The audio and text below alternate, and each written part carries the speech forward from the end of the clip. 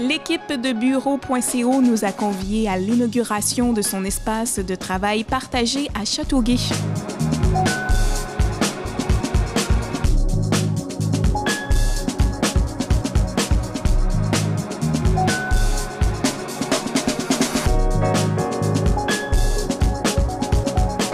Plusieurs espaces de coworking sont maintenant disponibles et à cela s'ajoute l'avenue du café La Chopinerie.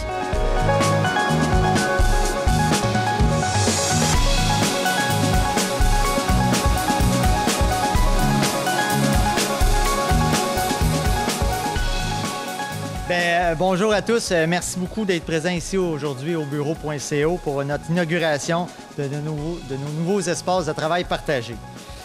Ben, L'idée de ces espaces, c'est d'offrir une solution simple et abordable pour les entreprises, les travailleurs autonomes, les travailleurs à distance ou toute autre personne qui a un besoin dans ce sens. Euh, de plus, c'est aussi une façon pour eux de favoriser le réseautage au sein d'une communauté vivante.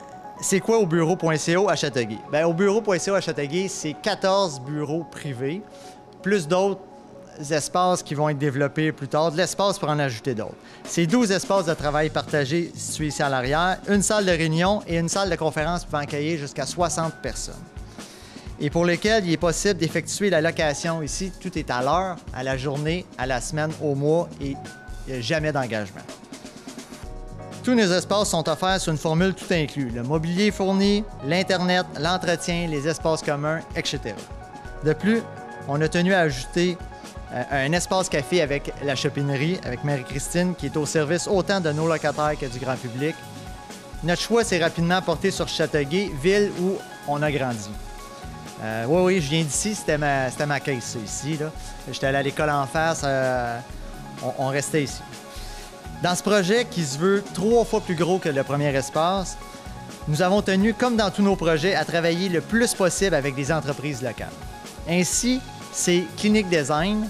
Il y a Pierre Frédéric là, qui est ici avec son équipe, Annie-Claude à l'arrière. Donc, euh, Clinique Design a été responsable de tout le design. C'est grâce à eux qui fait que cet espace est un lieu unique et chaleureux, comme vous pouvez le voir aujourd'hui. Il y a aussi les gens de Savoir Architectes. J'aimerais aussi remercier la ville de Châteauguay pour son accueil à notre projet, puis tout particulièrement Julie Desharnais, l'inspectrice, qui a su nous accompagner dans, la réalisation du projet. J'aimerais aussi remercier la Chambre de commerce et d'industrie du Grand Roussillon, ça c'est son nouveau nom. Je dois vous dire que je suis vraiment fier, comme maire de la ville de Châteauguay, que ce- cet immeuble-là, ce bâtiment-là, a finalement repris vie. Euh, je suis certain que euh, la directrice générale de la Caisse populaire a cette même fierté-là. D'ailleurs, elle est ici avec un beau grand sourire.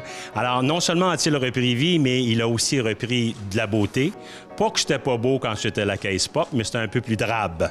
Alors là, présentement, c'est quand même quelque chose de très beau. C'est plus vert.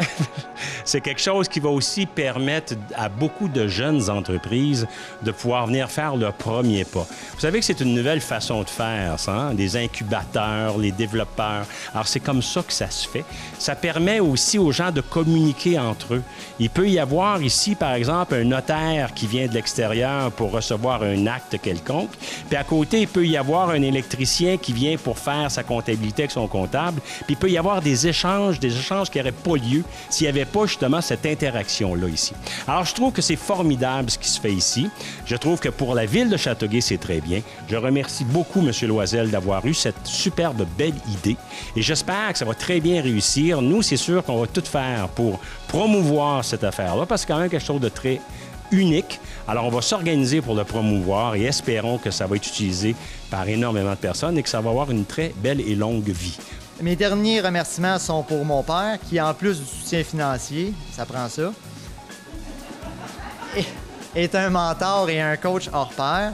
Et finalement, à mon épouse, Annick Fontaine, qui est ici à l'arrière, enseignante ici à Châteauguay, puis qui met toute son énergie à faire rayonner notre entreprise et surtout toute sa patience à accepter que c'est qu'est-ce que c'est d'être marié à un entrepreneur qui trop souvent pense à ses projets multiples.